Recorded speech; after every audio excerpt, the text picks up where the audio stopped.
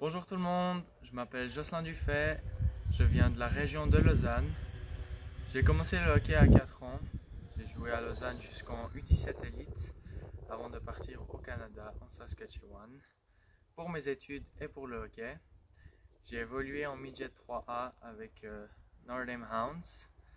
Pour cette saison, j'ai le plaisir et la fierté de pouvoir rejoindre le club d'Ombri Piota et de connaître son merveilleux public. Ciao a tutti!